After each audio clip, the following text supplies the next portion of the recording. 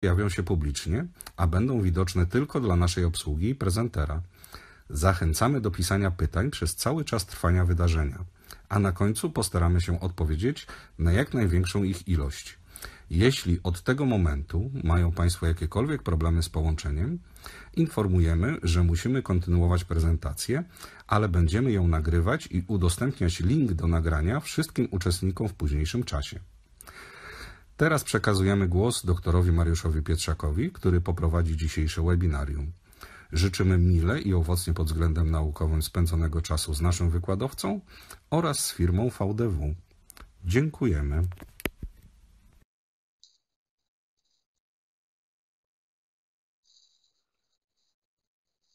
Okay, Marius, if you want to, uh, well, actually, I'll unmute you and let's see if we can hear you okay. Okay. Go ahead. Dzień dobry. Hello, hello, John. Can you hear me? Dzień dobry Now, Państwu. Nazywam się Mariusz Pieczek. Okay, great. Great, thank you, John. Um, dzień dobry Państwu. Nazywam się Mariusz Pietrzak e, i dzisiaj będę miał przyjemność e, przeprowadzić e, Państwa przez, przez tajniki endodoncji. Obserwując i analizując ankietę, którą tutaj przygotowaliśmy dla Państwa, bardzo cieszę się, że odpowiedzi były dość zróżnicowane. E, Co mnie bardzo cieszy, ponieważ e, będziemy mogli e, naszą prezentację poprowadzić indywidualnie pod tym kątem i oczywiście czekamy na, na wszelkie pytania i na sam koniec em, webinaru postaram się odpowiedzieć na największą ilość pytań. Mam nadzieję, że, że takie będą. Zachęcam do, do zadawania i, i jestem tutaj po to, żeby dzielić się swoją wiedzą, swoim doświadczeniem. E, Także serdecznie zapraszam e, do uwagi i do zadawania pytań. Ostatnio jeżdżąc na motorze miałem przyjemność obserwować garncarza w pracy i siedząc tak, patrząc e, na jego pracę, zdałem sobie sprawę, e, jak wiele technik, jak wiele sposobów e, może, mogą mieć garncarze po to, żeby osiągnąć nawet w miarę podobny efekt, bądź różnorodki, różnoraki efekt. Tym samym sposobem uważam, John, can you skip the movie, please? Thank you. E, I tym samym uważam, że e, leczenie kanałowe, opracowanie kanałów, wybór narzędzi, czy to rotacyjnych, czy maszynowych, czy też wymienionych w, w, w, w, w, w ankiecie narzędzi ręcznych, czyli kombinacja różnych narzędzi, może doprowadzić nas do podobnego efektu, e, czyli do prawidłowego przeleczenia systemu e, kanału korzeniowego, a jak wiemy, system e, narzędzi kanałowych ma ogromny wpływ, wybór narzędzi systemu narzędzi maszynowych ma ogromny wpływ na, na nasze efekty i długofalowe efekty i obserwacje. We skip to the, to the, oh, thank you, John. Więc siedząc tak i obserwując tego sobie zdałem sprawę, jak wiele rzeczy ma na to wpływ. Zadaniem leczenia kanałowego jest opracowanie, usunięcie martwych tkanek zęba, żywych tkanek zęba, jeżeli chodzi o leczenie kana- kanałowe z powodów powiedzmy ortodontycznych, po to, żebyśmy mogli być może, żeby na pewno ukształtować kształt kanału, nadać kształt kanału, natomiast e, też po to, aby móc e, umieścić tam opatrunek tymczasowy, bądź ostatecznie wypełnić kanał. Różne przypadki się zdarzają i e, jak wiadomo, życie bywa, płata różne figle, dlatego nie zawsze, e, nie zawsze wszystko jest takim, jak, jak wydaje się, że może być proste. E, Ten przypadek mm, dotyczy pacjentki, która do mnie się zgłosiła z powodów okluzyjnych, w celu leczenia kanałowego z powodów okluzyjnych. Był to drugi górny przedtrzonowiec I w tym wypadku myślałem, że będzie bardzo prosty przypadek. Zrobię punkt trepanacyjny, oczywiście podam znieczulenie, natomiast później wykonuję zazwyczaj dość oszczędny punkt trepanacyjny. No i spodziewałem się w tym wypadku e, zęba, jak to z górnymi, drugimi przedtrzonowcami zazwyczaj bywa, jednego szerokiego kanału owalnego, także mm, liczyłem tutaj na e, dość prosty przypadek, natomiast okazało się, że jak powiedziałem wcześniej, życie kota figle i w tym wypadku e, okazało się, że jeden szeroki kanał kończy się dwoma wierzchołkami. Natomiast dostęp do jednego z tych kanałów był dość trudny, e, a mianowicie był pod zachyłkiem, który znajdował się około 5 mm od samego wierzchołka. Dlatego też musiałem znaleźć sposób, który pozwoli nam e, rozwiązać ten problem, e, czyli jaki system narzędzi, czy to ręcznych, czy maszynowych wybrać, czy, czy w ogóle odstąpić od opracowania narzędziami maszynowymi, czy skupić się tylko na opracowaniu tego kanału narzędziami ręcznymi. Natomiast obecna endodoncja jest na tyle rozwinięta, że daje nam możliwości e, praktycznie większość, 90% przypadków e, z naszej praktyki. W tym wypadku dogiąłem, jak widać było wcześniej, dogiąłem e, na pilnik ręczny C-Pilot pod odpowiednim kątem i starałem się odnaleźć ujście kanałowe, to drugie ujście kanałowe 5 mm od wierzchołka. Gdy osiągnąłem wierzchołek, założyłem końcówkę, która pozwala mi opracować w bezpieczny sposób narzędziami ręcznymi. Jak widać, włożyłem, włożyłem narzędzie, narzędzie maszynowe, e, narzędzie ręczne włożyłem w, e, w końcówkę, która pozwoli mi e, opracować, przepraszam bardzo, opracować, opracować ten ujście kanałowe w dość bezpieczny sposób, nie narażając narzędzia ręcznego na przekręcenie w jednym kierunku. E, następnie, gdy już wyprostowałem sobie w miarę dojście do tego e, zachyłka, czyli do tego drugiego ujścia kanałowego, do tego wierzchołka, można powiedzieć, drugiego wierzchołka kanałowego, e, wtedy miałem już dość prostolinijne, można powiedzieć, dojście do światła tego ujścia i w ten sposób teraz przystąpiłem do wyboru narzędzia, narzędzi mm, maszynowych. W tym wypadku zdecydowałem się na wybór narzędzi Reciproc Blue. To był rozmiar R25. E, ponieważ ten system daje nam możliwość dogięcia pilnika pod odpowiednim kątem, włożenie go w kanał, w ten wierzchołek, który jest odgięty pod pewnym kątem i dopiero wtedy możemy włączyć narzędzie i opracować e, system, e, system, narzędzi, system kanałowy na pełną długość roboczą. Następnie protokół pukania. Oczywiście w moim przypadku to zazwyczaj jest E, podchory sodu 5,25 i mieszam, mieszam ten, ten płyn razem z EDTA. Mieszam, mam na myśli, że naprzemiennie używam podchorynu sodu i EDTA, bądź możecie Państwo używać cytrynianu, e, cytrynianu, który też może być, który też jest środkiem helatującym. Dlatego zawsze protokół ostatecznego płukania to jest podchoryn sodu i EDTA w moim przypadku, ponieważ cytrynian powoduje lepki koferdam, a przy dość e, nietypowych dojściach, przy, przy źle, nietypowym ułożeniu zębów może być problematyczne, ponieważ guma robi się lepka i wtedy rękawiczka nie ma poślizgu na, na koferdamie, a to później powoduje problemy e, techniczne przy opracowaniu tych trudnych, dostępnych kanałów. E, irygacja, czyli tu mam aktywację, za, za każdym razem e, podchoryn sodu aktywuję w podwójny sposób, a mianowicie używam endoczaka po to, żeby podgrzeć delikatnie podchoryn sodu wewnątrz systemu kanału korzeniowego, natomiast tą samą porcję aktywuję później przy użyciu sonicznego narzędzia, jakim jest EDI.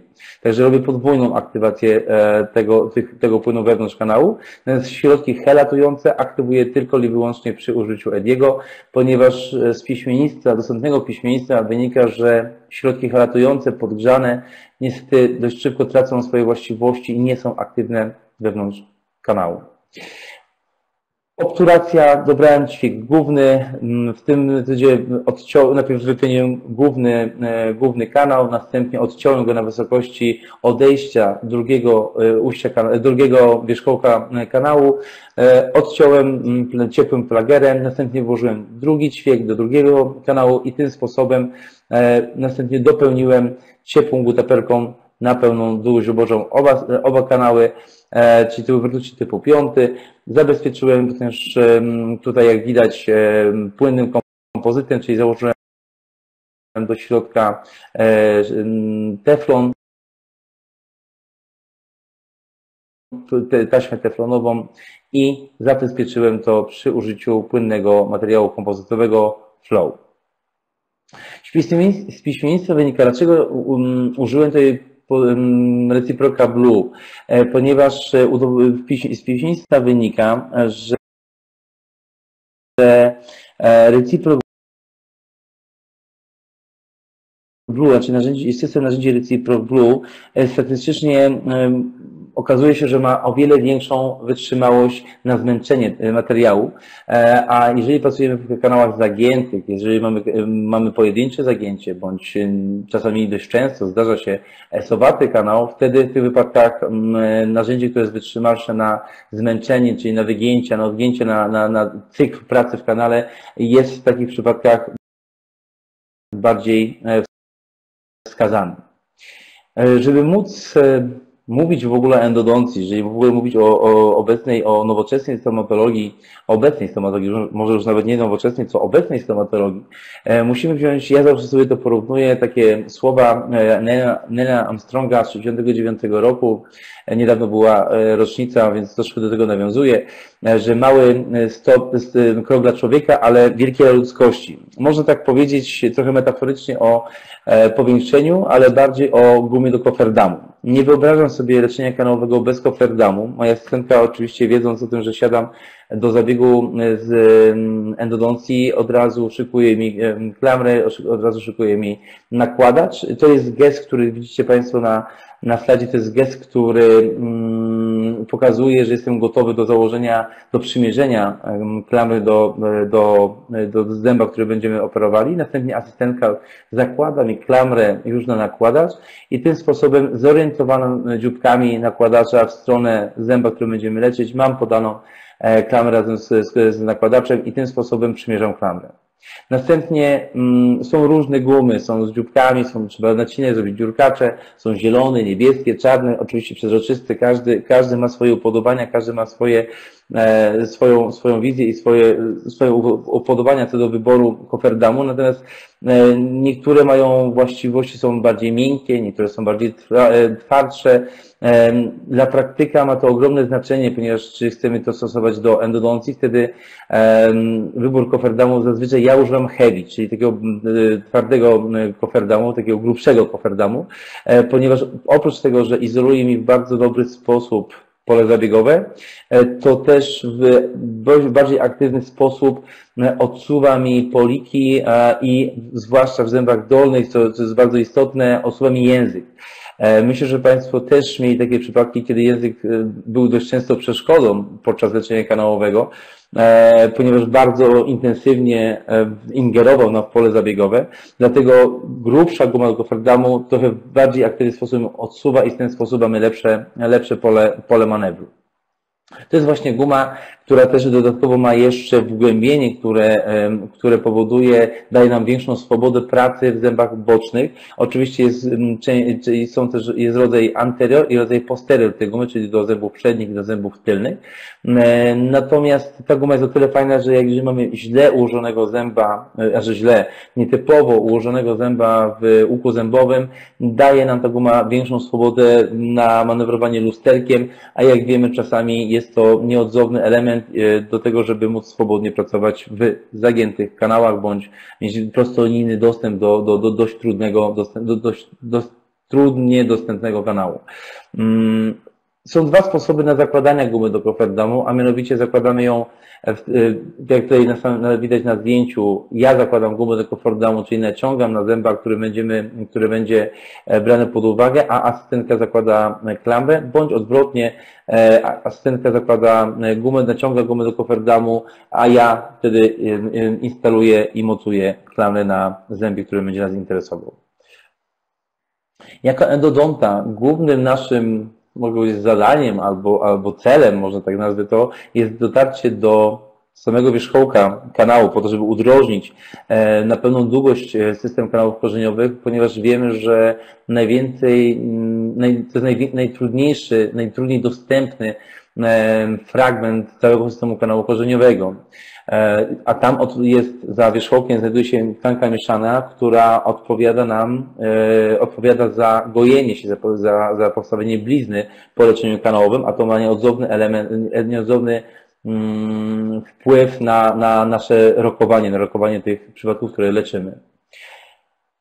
To jest pokazane, może dość prozaiczna rzecz, natomiast z doświadczenia spotkałem się z e, różnymi przypadkami, dlatego pokazuję ten slajd, że mm, mówiący o tym, w którym miejscu ja mm, zatrzymuję się i w którym miejscu ja traktuję jako, niektóre miejsca ja traktuję jako mm, naszą długość roboczą. Pierwszą, e, pierwszy schemat, czyli pierwsza część jest, pierwsze zdjęcie u góry po lewej stronie pokazuje nam nie od razu, to, to nie jest ujście kanału w tym miejscu, tylko endometr pokazuje nam troszkę, troszkę niżej, czyli ostatnie 2 mm tak naprawdę systemu kanału korzeniowego pokazuje nam dopiero na endometrze. Dlatego step by step posuwamy się, to, cały ten obrazek na endometrze pokazuje nam ostatnie 2 mm e, kanału. E, ja natomiast postępuję w ten sposób, że przechodzę narzędziem do samego apexu, czyli jestem w otworze anatomicznym i cofam się, zależy to od czy jest to Ritex, czy jest to, czy jest to NSK, zależy jaki Państwo macie, jakim, czym dysponujecie w swoim gabinecie. Ja zazwyczaj cofam się do połowy żółtego i w ten sposób kończę opracowanie systemu kanału korzeniowego i to jest dla mnie ustalona długość robocza. Natomiast istotne jest to, żeby według mnie, żeby przejść poza wierzchołek, czyli dotrzeć otworu fizjologicznego do otworu anatomicznego, ponieważ e, histologicznie bardzo zróżnicowana jest histologia okolicy przywierzchołkowej i tam jest dużo przewężeń. E, około 40% wszystkich systemów kanałów korzeniowych, wszystkich kanałów kończy się wielokrotnymi przewężeniami, a świadczy, a świadczy to o tym, że mm, jeżeli, nie, jeżeli potraktujemy pierwsze przewężenie jako otwór anatomiczny, w tym momencie nie opracowaliśmy wszystkich przewężeń i nie mamy możliwości dystrybucji płynu w tej okolicy, a tym samym nie mamy możliwości wyczyszczenia dokładnego i zdezynfekowania najistotniejszego elementu, jakim jest okolica przywierzchołkowa. Tak jak powiedziałem wcześniej, ja dochodzę do otworu anatomicznego, cofam się do otworu pierwszego fizjologicznego, skrajnego, czyli jak najbliżej otworu anatomicznego. E, nie stosuję metody, nie stosuję metody e, radiologicznej do ustalenia długości roboczej, ponieważ proszę zwrócić uwagę, jak z piśmieństwa wynika, że około, około od 1,5 do 2 mm może różnić się radiologicznie ujście kanałowe od wierzchołka radiologicznego. E, gdybyśmy, gdyby w tym przypadku chociażby ujście kanałowe było w tym miejscu, natomiast gdybyśmy zaprzestali opracowanie kanału na tej wysokości, to około 1,5-2 mm kanału byłoby nieopracowane, a tym samym niedezynfekowane. W ankiecie było podane pytanie y, odnośnie, e, jaką metodę Państwo stosują do diagnostyki przed samym zabiegiem, do, do klasyfikacji, w przypadku do, do, do leczenia. E, bardzo się cieszę, że ta ta e, ankieta była, ponieważ uświadomia mi też, jak różnorodne podejście jest. Ja e, rekomenduję, ja stosuję na co dzień dwie metody, a mianowicie RVG i CBCT. Każda z nich ma swoje walory dodatnie, natomiast walorów dodatnich nie ma, natomiast ma swoje plusy i minusy.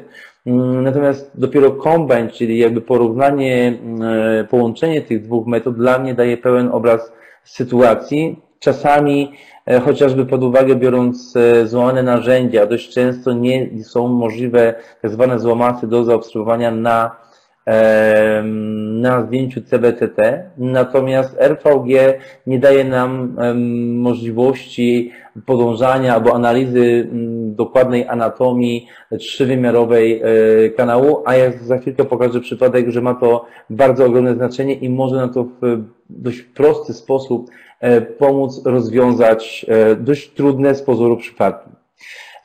Nie tylko sama analiza kanału może być ważna na podstawie e, tomografii komputerowej, ponieważ to jest przypadek, gdy pacjentka do mnie trafiła z bolącym pierwszym przedstrzonowcem.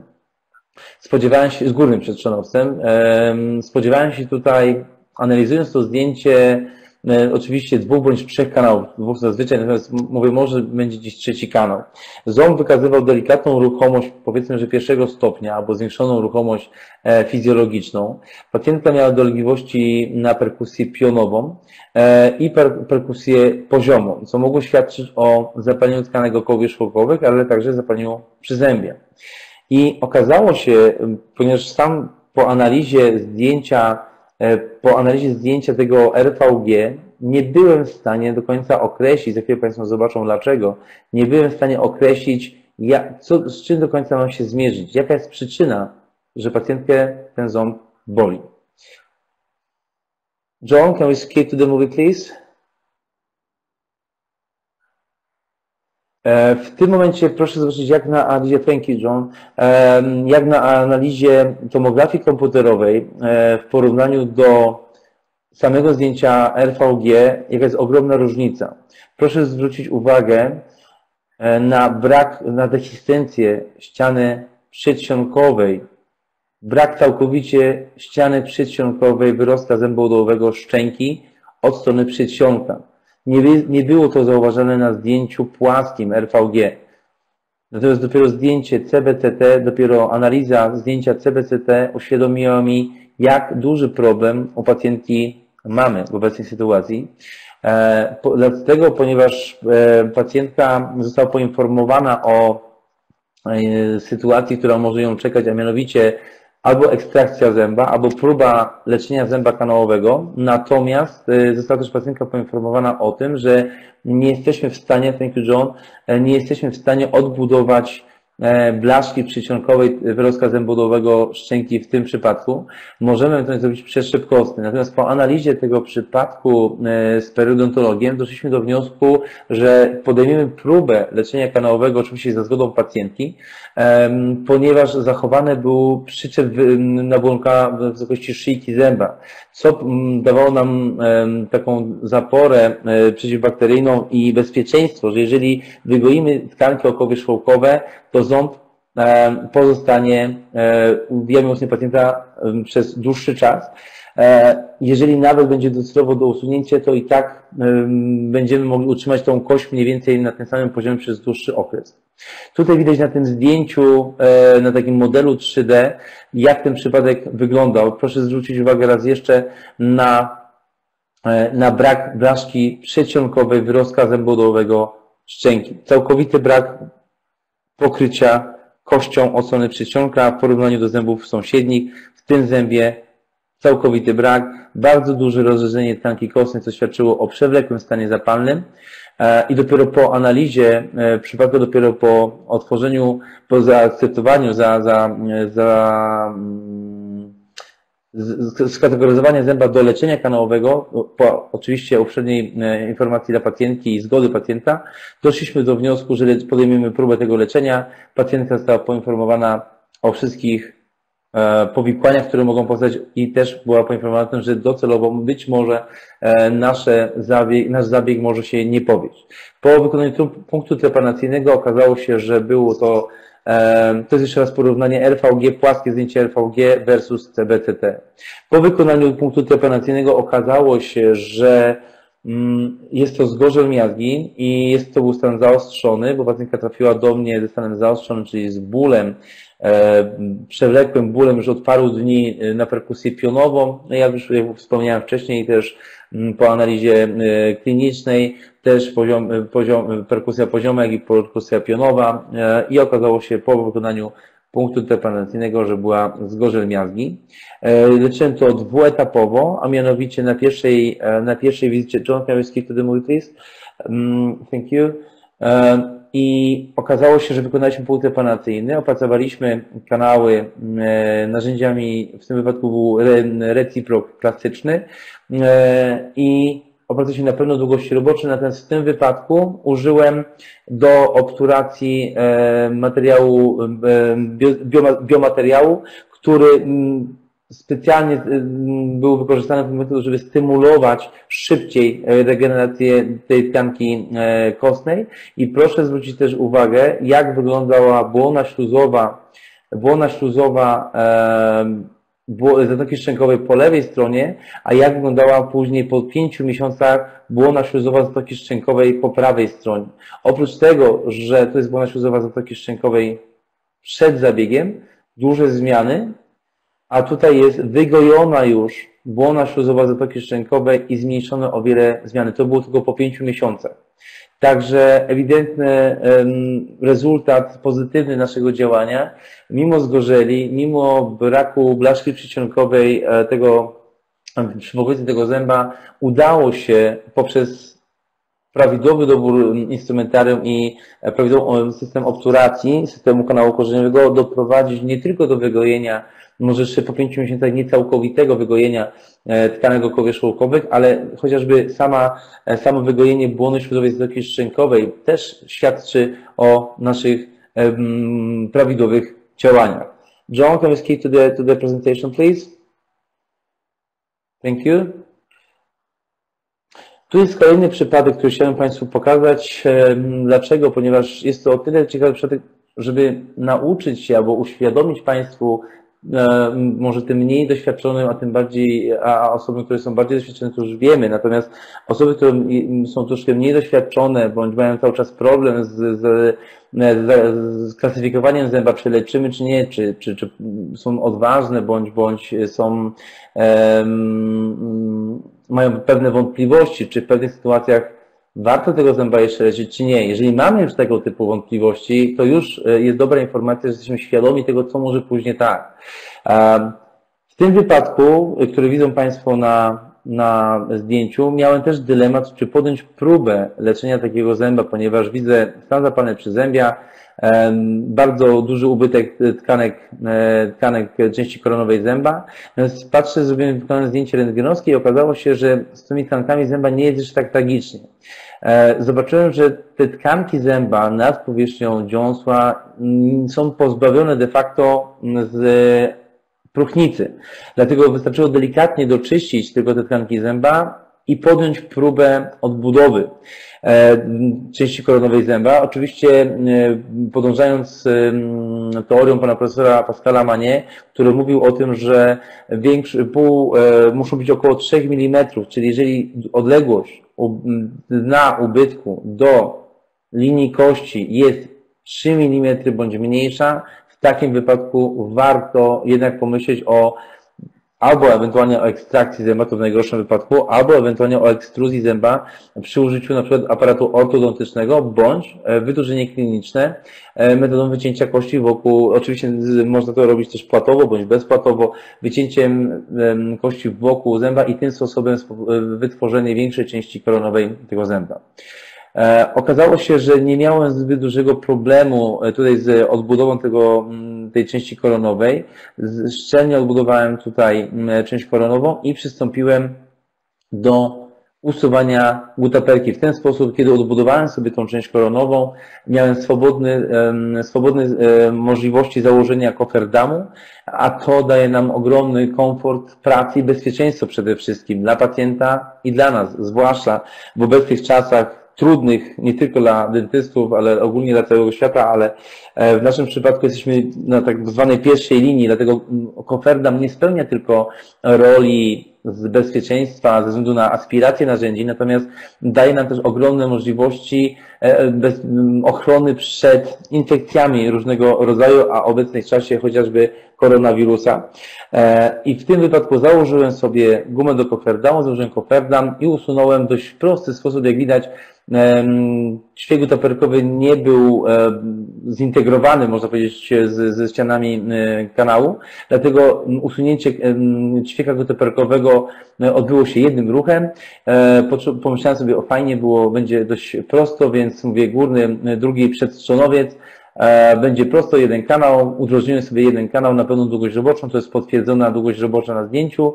Natomiast e, jak widać, jako fetyszysta endodontii, jak widzę tego typu zachyły, gdzie coś mi zalega, gdzieś płyn w takim nietce e, zalega mi, wtedy pali mi się oczywiście czerwona, czerwona żarówka nad głową e, i od razu w takiego typu przypadkach staram się negocjować, sprawdzić, chociażby sprawdzić, czy jest tam drugi kanał równoległy do tego. Myśląc y, na początku, że mam pierwszego, przed, drugiego przedszonowca, znowu miałem pomysł, że będzie tam jeden owalny kanał. Natomiast asymetryczne ułożenie jednego kanału i niecka z zalegającym drugim, w drugim płynie, w takiej niece, sugerowało mi, że mogą być dwa równoległe kanały. Dlatego też wykonałem tomografię komputerową. komputerową. John, can we skip to, this, movie, please? Thank you. I wykonałem w tym przypadku, e, chciałem potwierdzić swoje obawy bądź, bądź przypuszczenia, czy mam rację, że ten kanał tam jest, chociażby e, a, ta asymetria ułożenia tego, tego jednego z kanałów był już z góry sugerowała mi, że ten kanał tam musi być. Jak widać, proszę zwrócić uwagę, sekundkę pokażę to jeszcze, e, widać na tym drugim, e, na, na zdjęciu, że jest ewidentnie drugi kanał, od strony podniebiennej. Natomiast nie, mm, tak naprawdę największym wyzwaniem nie było tutaj ułożenie czy znalezienie drugiego kanału. Byłem w miarę że pewny, że ten kanał tam jest, tylko proszę zwrócić uwagę na krzywiznę tego kanału. Ten kanał nie odchylał się tylko medialnie, medialnie dystalnie, tylko te kanały odginały się, miały podwójną esowatość, a mianowicie medialnie, dystalnie i przeciąg, e, przeciągowo podniebienie. Także była podwójna esowatość. I jeżeli w przypadku, kiedy chciałbym e, negocjować i udrożnić ten kanał na pewną długość roboczą, mogłoby się okazać, że analizując tylko zdjęcie RVG, mógłbym popełnić błąd polegający na tym, żebym zrobił tak zwaną via falsę. Ponieważ pierwsze 3 mm tego, tego ujścia kanałowego wyciąłem endoczakiem, analizując krok po kroku, milimetr po milimetrze, zdjęcie CBCT i podążając, doginając w odpowiedni sposób, odpowiednim kątem endoczak, wycinałem tkanki zębiny krok, milimetr po milimetrze, aż tak naprawdę moje narzędzie wpadło, mówiąc kolokwialnie, do światła kanału i tym sposobem, jak widać, udrożniłem oba kanały na pełne długości robocze, ale to tylko o uzupełnieniu tych dwóch metod, RVG i CBCT. John, can we back to the, to the presentation, please? Thank you.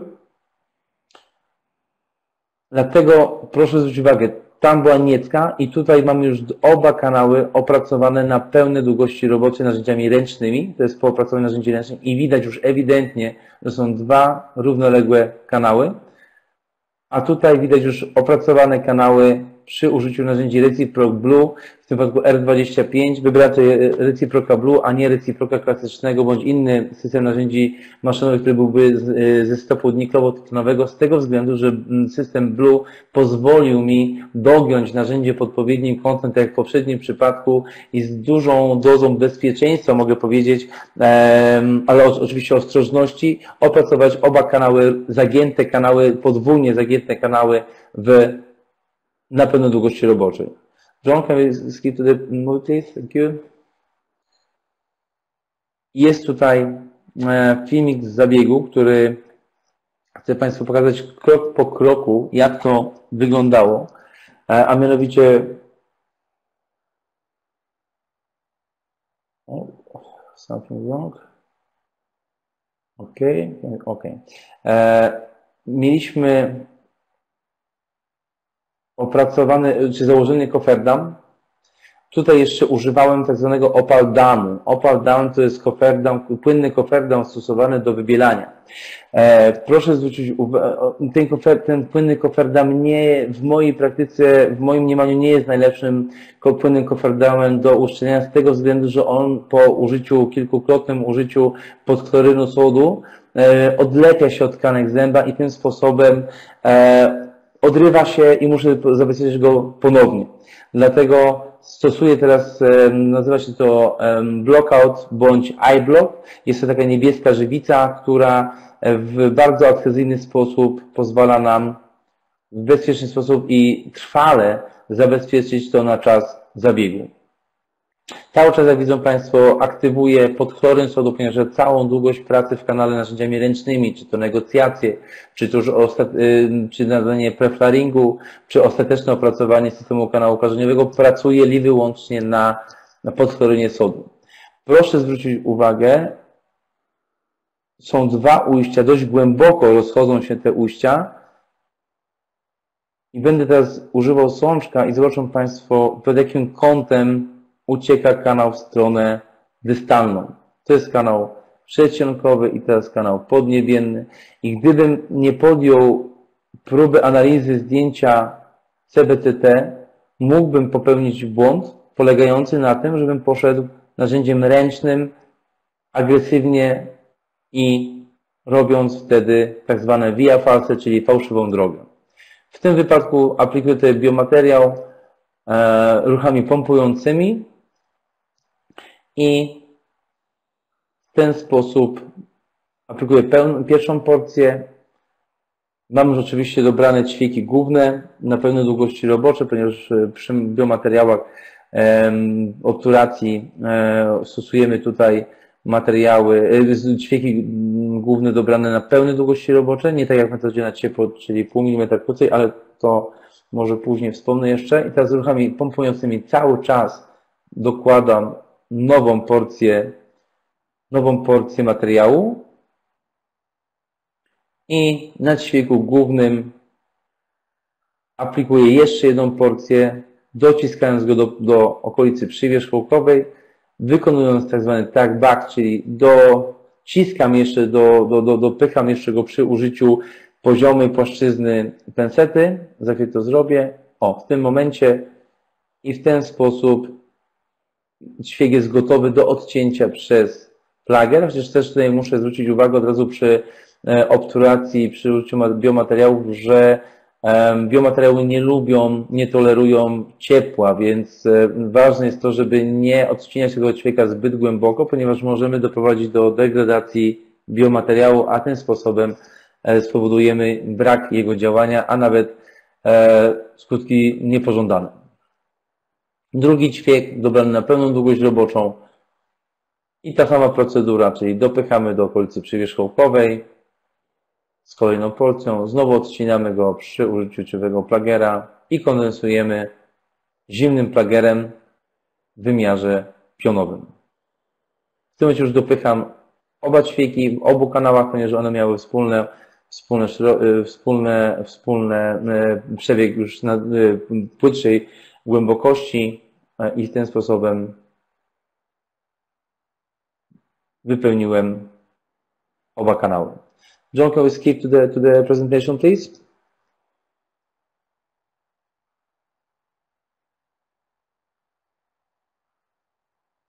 John, can we skip to the... Oh, thank you. E, I był to, to jest efekt początkowy, to jest zdjęcie początkowe, czyli brak tkanek zęba, brak ciągłości tkanek zęba i to jest zdjęcie radiologiczne RVG, natomiast tutaj już jest odbudowana część koronowa, umożliwiająca nam swobodne założenie koperdamu, bezpieczeństwo i idące z tym wszystkie e, plusy związane z, z, z ascetycznym leczeniem i dwa kanały podążające i respektując, respektując krzywiznę kanału.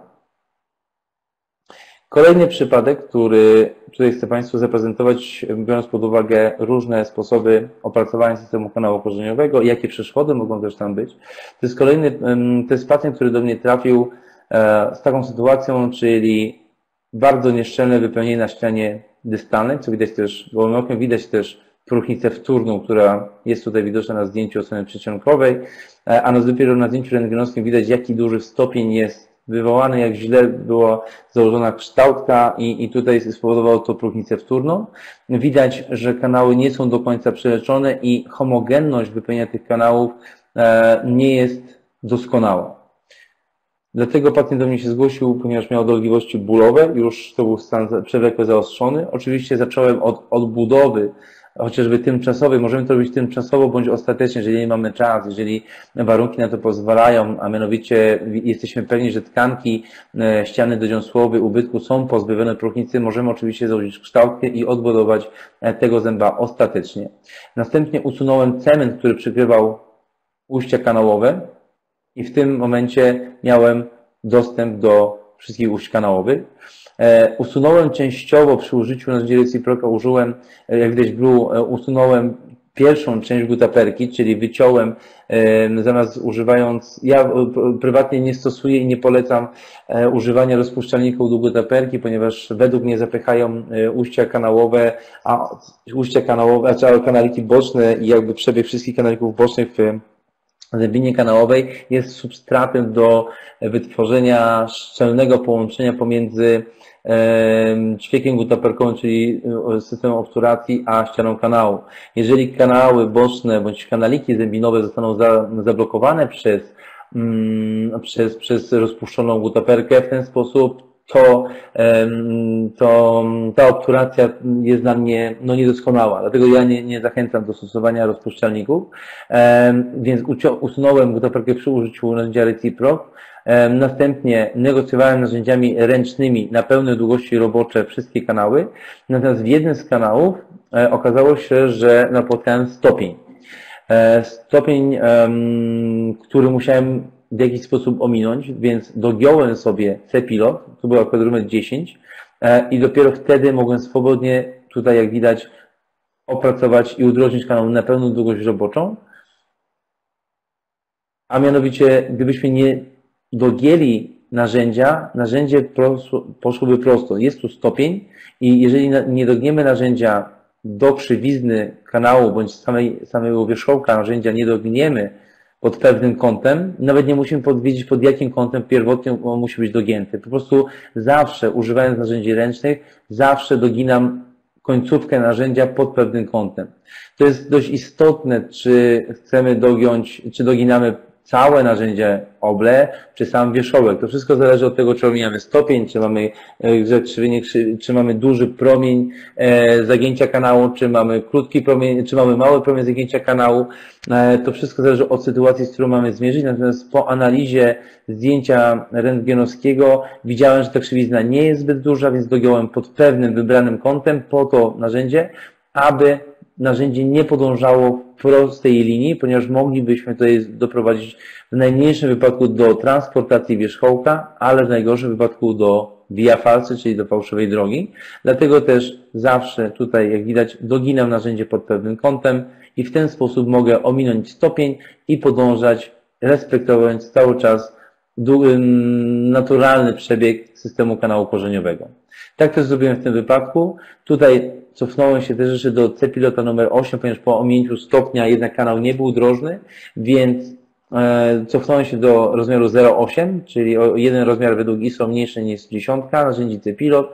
Udrożniłem kanał na pełną długość roboczą i ze względu znowu na krzywiznę kanału wybrałem i ze względu na stopień wybrałem tutaj bardziej elastyczny i bardziej wytrzymały na zmęczenie e, system recyprokacyjny. Jak widać, proszę, wyciąłem, wciąż usuwałem pozostałości gutaperki, które były wewnątrz kanału e, i tym sposobem też musimy zwrócić uwagę za każdym razem, żeby wyczyścić wszystkie nacięcia, e, wszystkie te, te ostrza, narzędzia e, za każdym razem po wyjęciu z kanału oczyścić przez asystentka oczyści.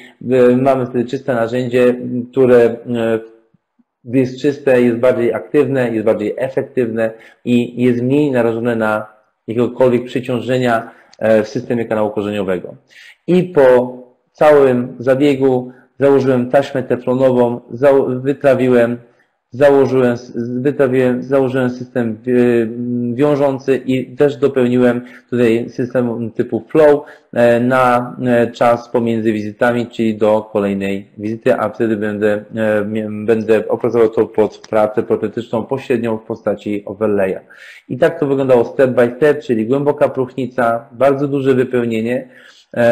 Jeżeli mam zęba tego typu dużym wypełnieniem nie wykonuję nigdy już od dłuższego czasu tak naprawdę uzupełnień w postaci, w postaci uzupełnień bezpośrednich typu MOD, czyli bardzo dużych OD bądź bardzo dużych MO, ale wyłącznie wykonuję właśnie odbudowę, a następnie leczenie kanałowe i dopiero później szlifowanie pod pracę protetyczną. Najczęściej kończy się to bądź zecementowaniem wkładu z włókna szklanego, e, czy w tym wypadku też odbudowy zrębu zęba i szlifowaniem go pod nakład.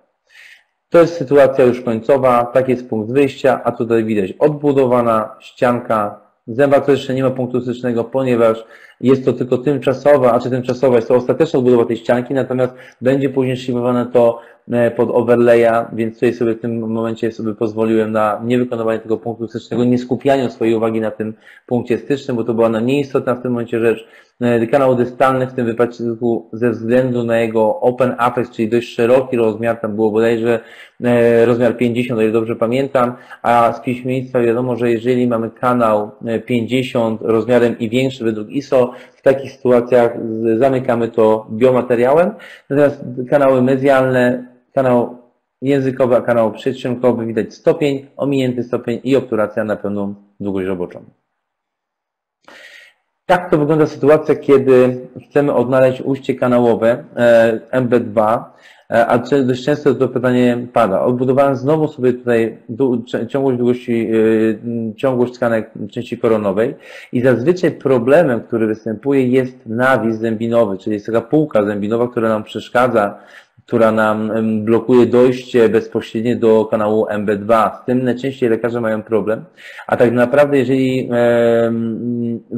tak naprawdę to 80 do 90 nawet procent górnych trzonosów, zwłaszcza drugi, ma cztery kanały. Chciałbym też to, nie wiem, czy uświadomić, czy zwrócić uwagę na to, że jak mam górnego trzonowca i mam tylko trzy kanały, zaczynam się martwić, ponieważ zawsze szukam tego czwartego i 90% przypadków go znajduję, więc warto na to zwrócić uwagę.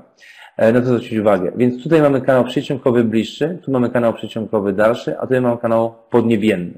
E, proszę zwrócić uwagę, tu jest ta półka, właśnie tu jest ten nawis zębinowy, który jest tutaj narysowany e, i patrząc na zdjęcie, na to zdjęcie możemy domniemać, że w tym miejscu możemy mieć kanał MB2.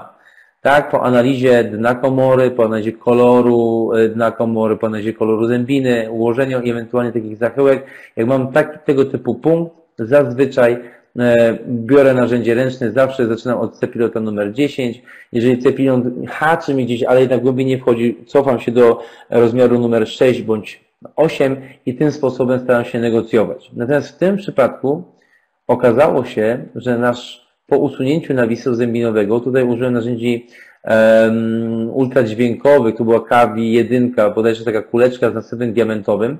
E, zachęcam do używania tutaj w takich przypadkach głęboko, precyzyjnych narzędzi um, ultradźwiękowych z tego względu, że używanie narzędzi rotacyjnych w postaci, nie daj Boże, akurat tu mówię dość bezpośrednio, nie daj Boże, diamentowych bądź ostrych różyczek, a tym bardziej wiertła typu mąca, może to być tak zwany strzał w kolano, niestety, ponieważ bardzo łatwo jest doprowadzić do perforacji tak naprawdę tej, tej okolicy i zamiast odnalezienia ujścia kanowego zrobimy tutaj perforację i w tym momencie niestety jesteśmy skazani już na niepowodzenie albo na większe komplikacje. E, opracowanie ujścia kanałowego narzędziem rotacyjnym i okazało się, że mój kanał, który spodziewałem się, że będzie kanałem MB2, był kanałem MB3.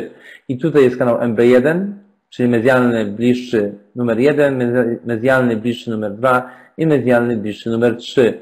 Proszę zwrócić uwagę, jak to wyglądało wcześniej. Nie spodziewałem się w tym momencie po samym usunięciu tej nawisu nie spodziewałem się tego typu sytuacji, e, ponieważ w tym wypadku nie wykonałem tomografii, szczerze powiem. E, I w tym momencie dopiero tego typu punkty świadczą o tym, że najprawdopodobniej tam może być kolejne ujście i takie punkty zazwyczaj sprawdzam. Najpierw z gonikiem endometrycznym sprawdzam, czy w ogóle haczy. Jeżeli haczy, wtedy biorę narzędzie ręczne. Wszystkie te trzy kanały miały wspólne ujście, a tak to wyglądało przed po usunięciu, tak będą przed, czyli kanał MB1, kanał, M, e, kanał DB1, e, kanał podniebienny i kanały później okazało się dopiero po opracowaniu, po usunięciu nawisu zębinowego kanał MB1, kanał MB2 i kanał MB3. Tak, e, tak sprawdzam, czy narzędzie, czy, czy John, skip to the movie, please?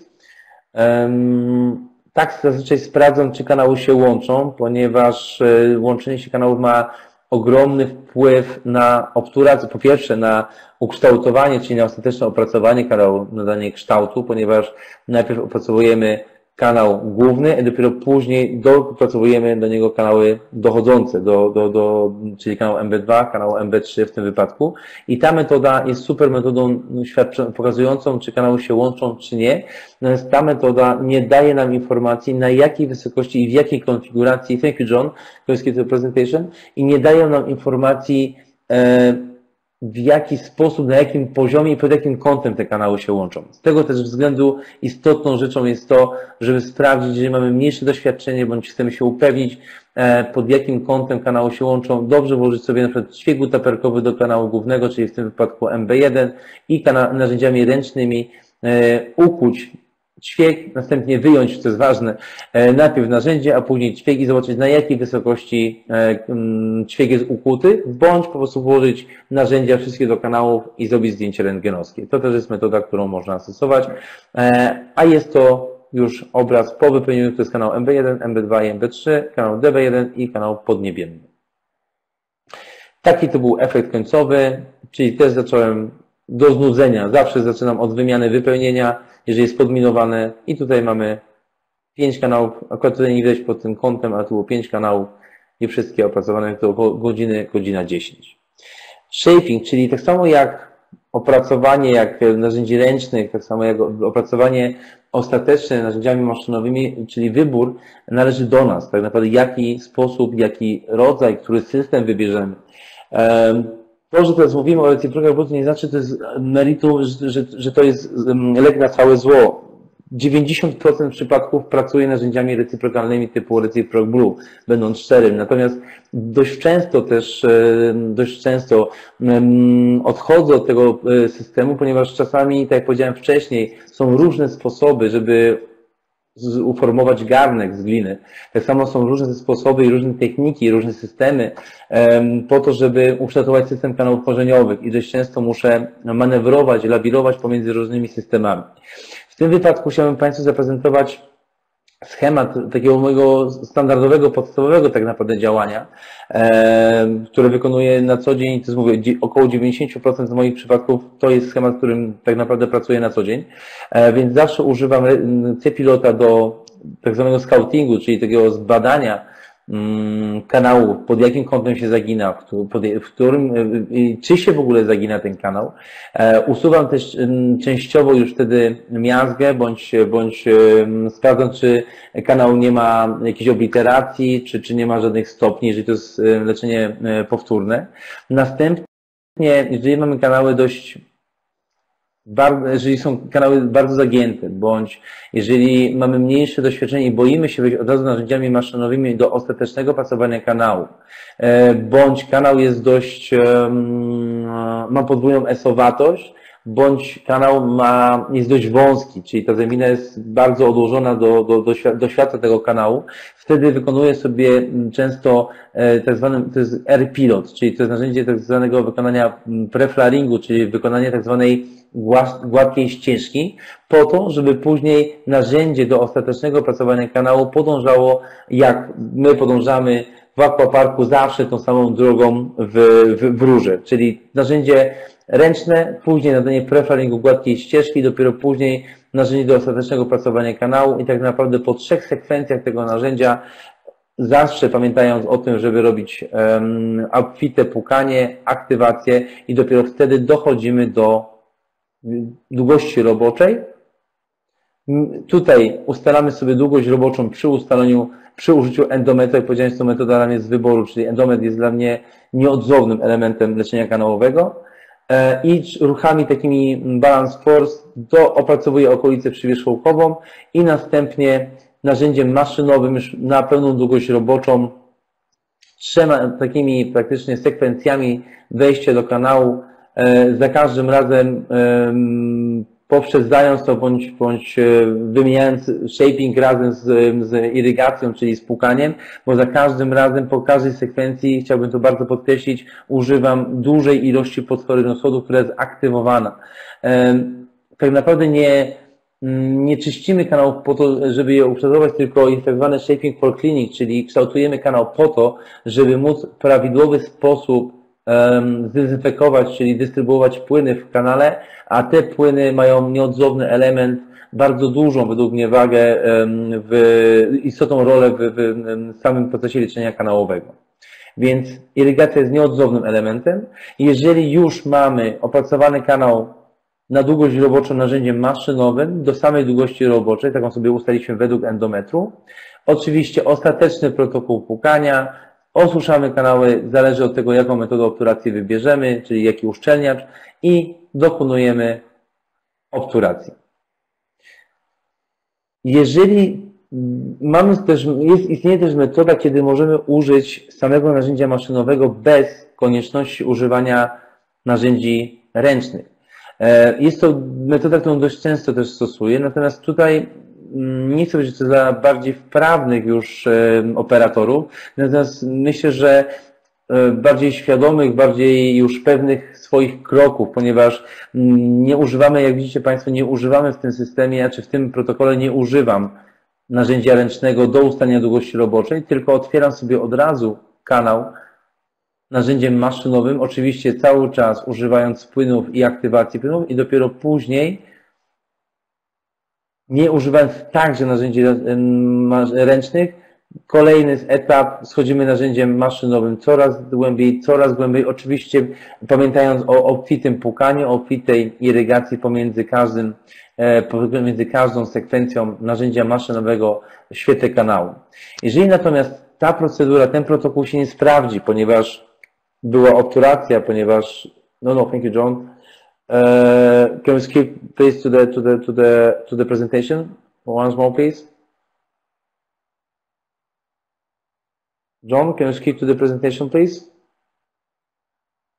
Jeżeli mamy stopień, jeżeli mamy em, obliterację, czyli kanał jest bardzo wąski, jest zarośnięty, ponieważ jest to ząb, który był kiedyś leczony metodą amputacyjną i doszło do obliteracji systemu kanału korzeniowego. I mamy problem używania tego poprzedniego protokołu bez narzędzi ręcznych, wtedy możemy oczywiście rozwinąć ten, ten, ten, ten protokół o użycie narzędzia ręcznego, czyli zostaliśmy narzędziem maszynowym na pewnym etapie, ponieważ już głębiej to narzędzie nie chciało wejść, było zagięte, e, było, był stopień tego, co wcześniej wspomniałem, bądź była obliteracja, wtedy używamy narzędzi ręcznych. Oczywiście znowu takim ruchem Balance Force i znowu narzędziem maszynowym po, po złapaniu długości roboczej, spokojnie narzędziem maszynowym, trzykrotnie dochodzimy, czy używamy go, czy używamy trzykrotnej sekwencji, cały czas oczywiście pamiętając o irygacji i trzykrotnie i jesteśmy na pełnej długości roboczej. Natomiast jeżeli z jakiegoś powodu, e, z jakiegoś powodu dziesiątka nam nie pozwala osiągnąć długości roboczej, musimy po pierwsze zastanowić się, dlaczego tak jest. Czy nie powinniśmy jakiegoś błędu, czy to nie my wytworzyliśmy ten stopień.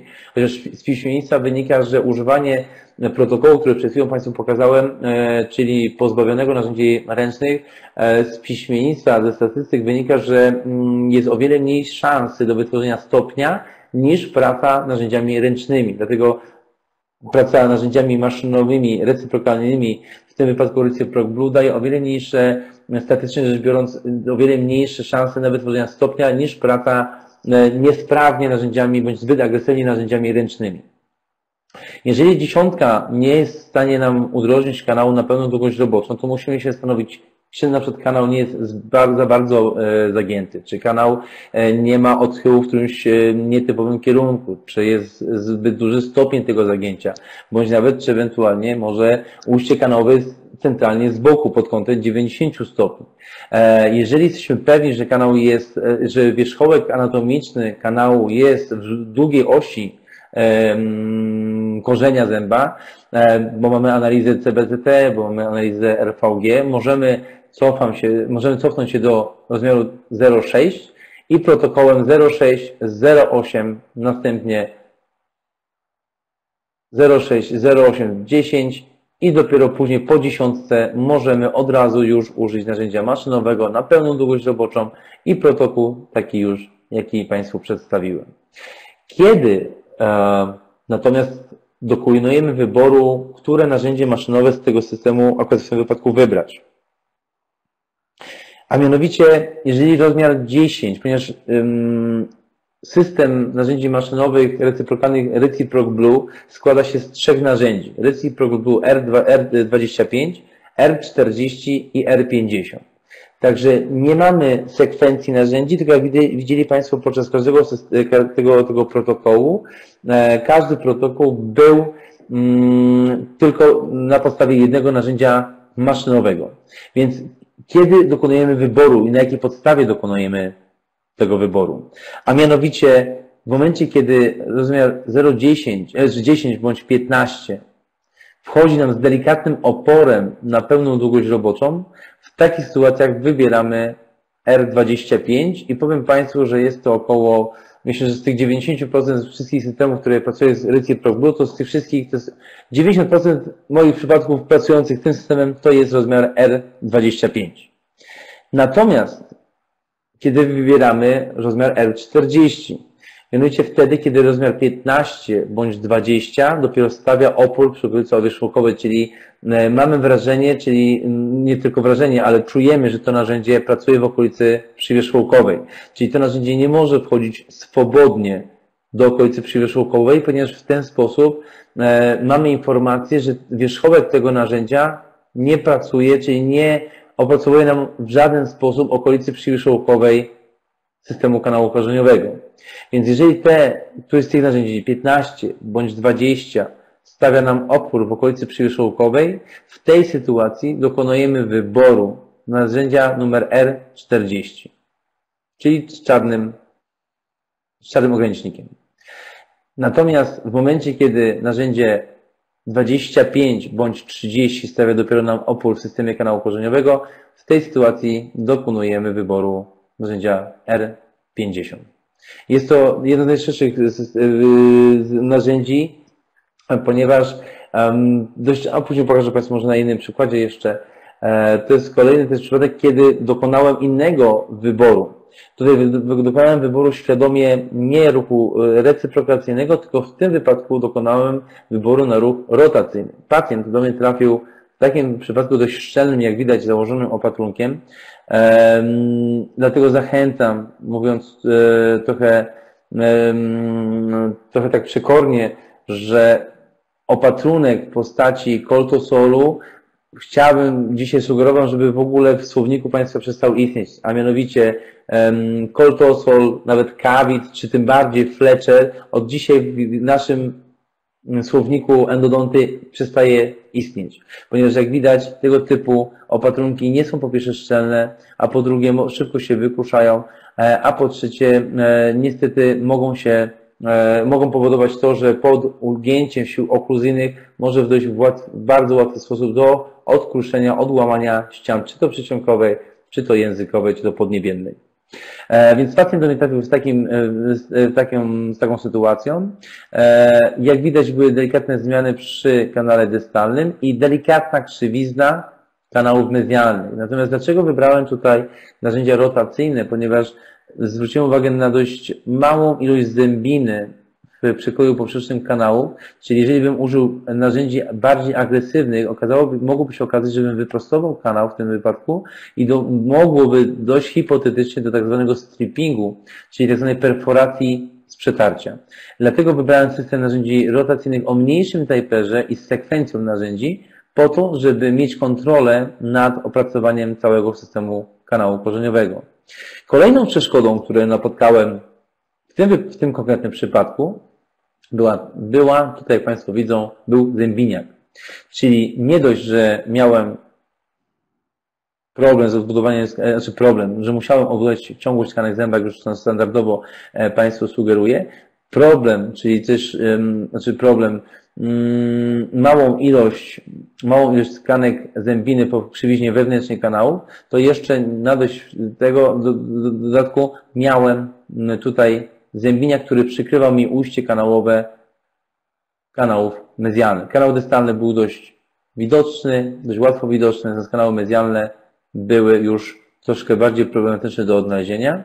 Użyłem tutaj narzędzi e, ultradźwiękowych do usunięcia tego zębiniaka ze światła z, z nakomory i tym samym z ujść kanałowych i w ten sposób po usunięciu zębiniaka już miałem mapę odkrytą mapę dna komory zęba, co dla endodonty jest jak, e, jak ścieżka w samolocie, który jest taki autopilot. Po prostu jeżeli podążamy zawsze, podążamy za tą ścieżką. Jeżeli mamy jakiekolwiek wątpliwości, gdzie mamy ujście kanału medialnego, językowego czy przyciągowego, podążamy za tą taką szarą, ciemno-szarą, grafitową linią i wtedy najprawdopodobniej znajdziemy ujście kolejnego kanału.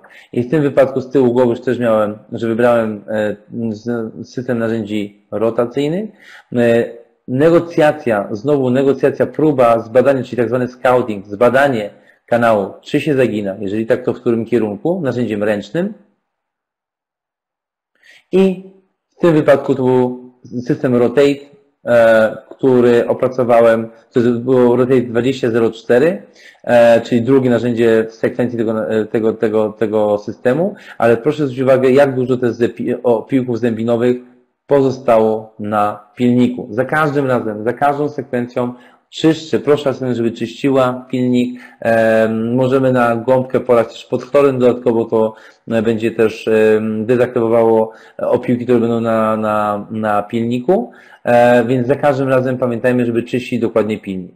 I następnie opracowanie systemu kanału korzeniowego przy podstawowej sekwencji tego, tego systemu, a mianowicie polegało to na tym, że zrobiłem najpierw scouting, czyli zbadanie kanału, czy zakrzywia się, czy jest drożny, czy nie ma stopnia. Było to pierwotne leczenie, więc miałem o tyle ten komfort psychiczny, że jeżeli byłbym stopień, to musiałbym go stworzyć sam. Staram się nie sprawdzać stopni, więc miałem tą komfortową sytuację, że spodziewałem się, że kanał będzie drożny, bez żadnych stopni. Następnie usunąłem część miazgi e, z, ze światła kanałów przy użyciu pierwszego narzędzia, czyli 1505 narzędzia um, pilnika Rotate i też proszę zwrócić uwagę, że nie na pełną długość roboczą, tylko tak na, zawsze to mówię na, na, na szkoleniach, że na tyle, na ile narzędzie nas zaprasza, na ile na kanał, nas zaprasza, a narzędzie nam pozwala. Czyli jeżeli czujemy już opór, że narzędzie stawia opór w kanale, starajmy się tego już nie dopychać, tylko usuńmy, wyczyśćmy narzędzie, zróbmy znowu rekapitulacji, czyli e, udrożnienie tej okolicy przyszłopowej przy użyciu e, tak zwanego JAFO, czyli initial apical file, czyli przy użyciu pierwszego pilnika, który dotarł na pierwszą, na długość roboczą, czyli zawsze udrażniam, robię rekapitulację, natomiast w tym wypadku dążę, e, pierwotnie zawsze dążę do tego, żeby usunąć wszystkie metabolity, wszystkie pozostałości z okolicy, ze światła kanału, ponieważ według mnie pomiar długości roboczej e, jest troszkę zaburzony, jeżeli w świetle kanałów mamy w świetle komory, w świetle kanałów mamy żywą e, miazgę, której są naczynia limfatyczne, naczynia krwionośne, włókna nerwowe, e, być może jakieś masy zgorzelinowe, te masy według mnie zaburzają pomiar długości roboczej, w zależności od oczywiście zagięcia, od krzywizny kanału, ale bywało tak, że według mnie w moim przypadku, w moich, z mojego doświadczenia wynika, że nawet było około no, od, od pół do, do nawet do, do, do, do milimetra. Jeżeli już usunąłem i opracowałem wstępnie, czyli wypracowałem trochę y, część y, dokomorową kanału, oczywiście znowu do znudzenia protokół pukania i złapanie długości roboczej narzędziem numer 10 w tym wypadku, potwierdzenie długości roboczej przy użyciu endometru i w tym momencie znowu protokół cały, czyli 1504, czyli pierwszy pilnik z białym ogranicznikiem, protokół pukania. Zawsze proszę zwrócić uwagę, trzykrotna taka sekwencja. Raz, dwa, trzy Płuczemy, robimy rekapitulację. Proszę zwrócić uwagę, że tutaj narzędzie jest do długości roboczej, natomiast w każdym z tych poszczególnych przypadków jest zrobiona rekapitulacja, a mianowicie jest przejście poza wierzchołek po to, żeby usunąć opiłki zębinowe, które są co prawda w narzędziach typu rotacyjnych są mniej kondensowane, upychane, aplikowane do okolicy przyszłokowej, natomiast mimo wszystko jednak te opiłki są transportowane, czy to narzędzi rotacyjnych, czy recyprokacyjnych, te opiłki są pakowane do okolicy przywieszulkowej i tym sposobem samą irygacją nie jesteśmy w stanie mechanicznie usunąć tych opiłków e, ze światła okolicy przywieszulkowej, czyli nie możemy w ten sposób dbać o apical patency, tylko musimy zrobić rekapitulację, czyli mechanicznie rozbić te opiłki, które są w okolicy przywieszulkowej i dopiero później przy użyciu płynu do dezynfekcji pod chlorem sodu i aktywowany, możemy w ten sposób je usunąć ze światła kanału. I tutaj jest sekwencja podstawowa, czyli 15.04, pukanie, rekapitulacja, 20.05, czyli mamy o jeden skok, o jeden rozmiar i według ISO rozmiar na samym wierzchołku i typer o 1% nam zwraca, czyli cały czas myślimy o tym, że mamy dbałość o e, typer, czyli o stożkowatość tego narzędzia, mając z tyłu głowy tą krzywiznę wewnętrzną tych, tych kanałów i małą ilość zębiny po, tej, po wewnętrznej krzywiźnie. Znowu rekapitulacja, znowu płukanie i zakończyłem w tym wypadku na 2504, czyli zwiększyłem rozmiar narzędzia pilnika maszynowego o rozmiar według ISO na wierzchołku, czyli było z 20.05 skoczyłem na 25.04, natomiast tu mamy do wyboru, w tym systemie mamy do wyboru dwa narzędzia, a mianowicie mamy 25.04 bądź 25.06. Jak powiedziałem wcześniej, ze względu na krzywiznę wybrałem Typer, czyli zablokowałem się na Typerze 0.5, ponieważ tu już mamy 0.4, czyli Typer, czyli ta część środkowa narzędzia już nie pracuje, a tylko pracuje nam okolica przywierzchołkowa, czyli poszedł nam rozmiar z 20, 0, z 20 na 25.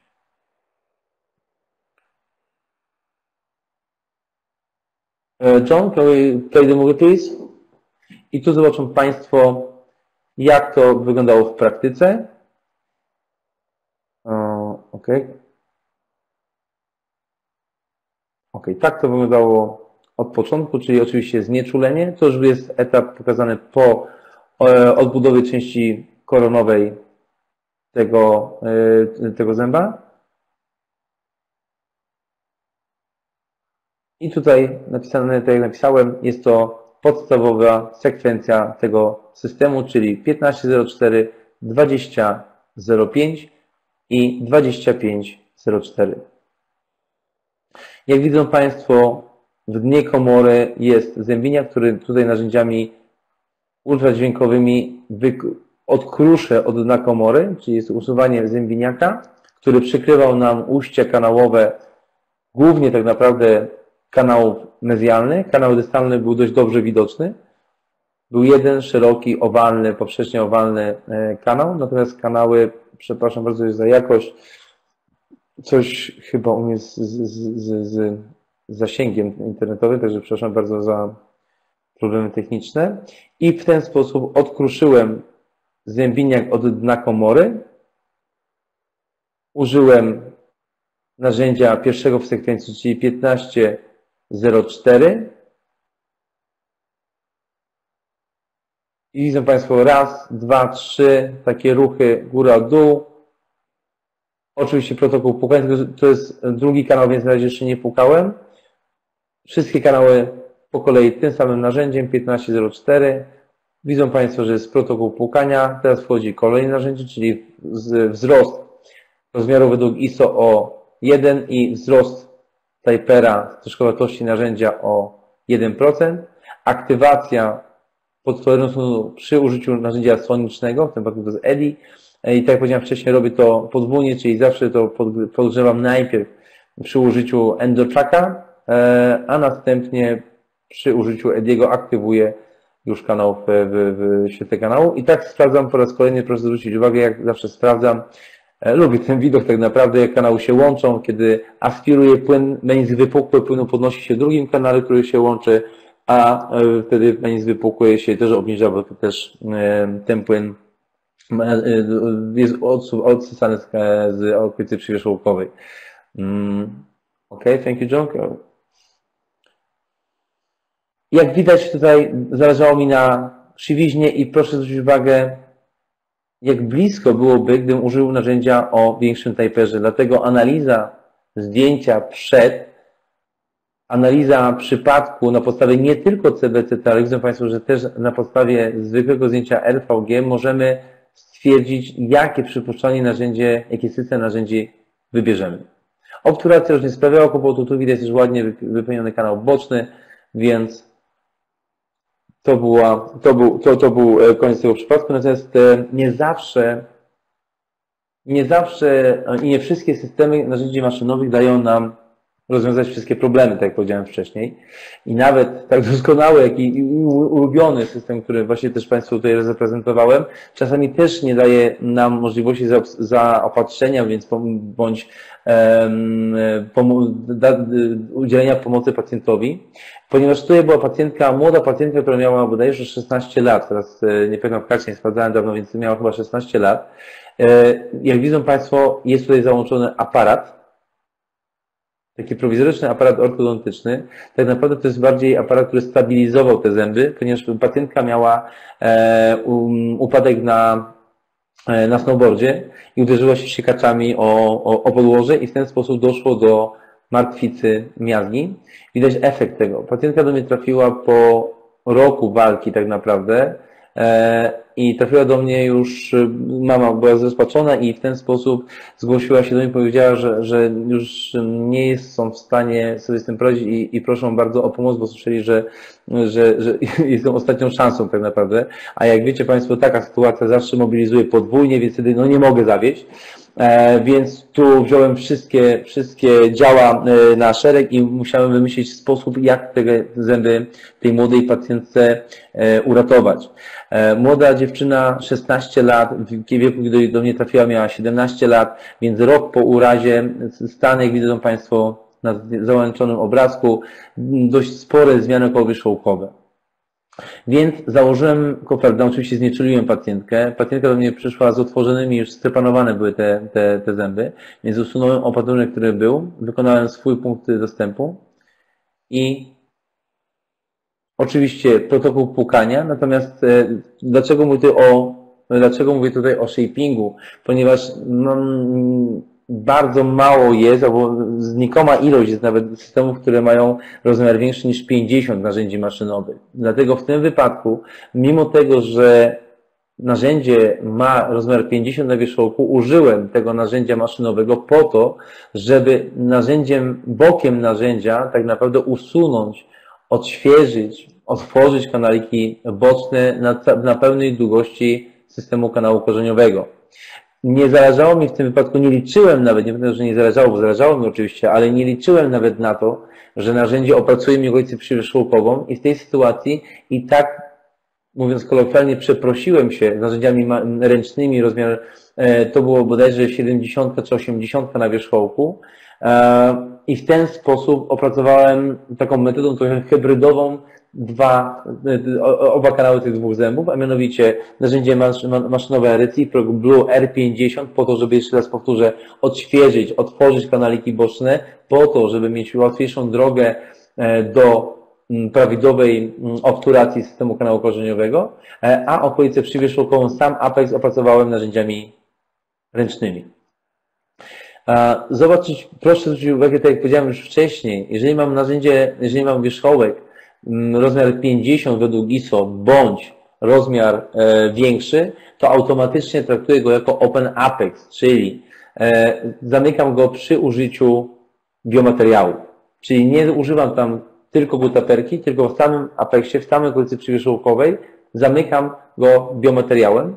I tutaj w tym wypadku założyłem jeszcze gąbkę kolagenową, tylko pamiętajcie proszę Państwa o tym, że jeżeli używamy gąbki kolagenowej poza wierzchołek, po to, żeby stymulować szybciej regenerację kości, żeby ten kolagen, hemosyderyna przeprowadziła się szybciej w kolagen, a kolagen w kość, docelowo już tak przyspieszając ten, ten schemat, założyłem gąbkę kolagenową. Natomiast, żeby móc założyć gąbkę kolagenową, musimy pamiętać o tym, żeby rozkrwawić, bądź jeżeli krwawi sama, to w porządku, ale jeżeli nie, to musimy rozkrwawić celowo okolicę przywierzchową po to, żeby ta gąbka kolagenowa szybciej się zintegrowała.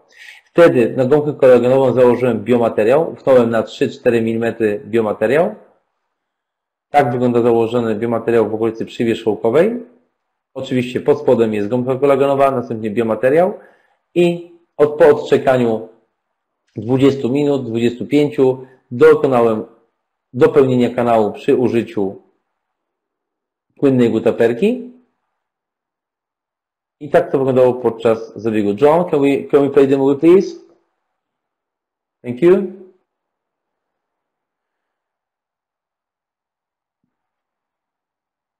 Tak wygląda proces już po shapingu tak naprawdę, czyli tutaj jest aktywacja, czyli zależało mi na dokładnej aktywacji płynu w kanale, ponieważ zmiany, zmiany były dość spore młoda dziewczyna, dość szerokie kanały.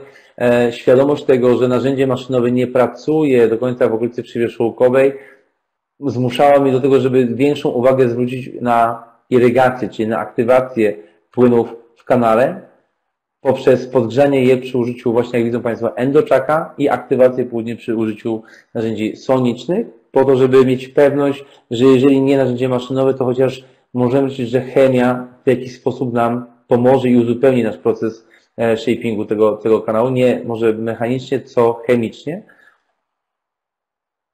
I tutaj proszę zwrócić uwagę, że zakładam gąbkę kolagenową do okolicy przywierzchowkowej i proszę zwrócić w pewnym momencie uwagę, jak gąbka kolagenowa zacznie się pokrywać krwią, ponieważ specjalnie rozkrwawiłem okolicę przywierzchowkową i teraz będzie widać, jak ona nabiera krwi.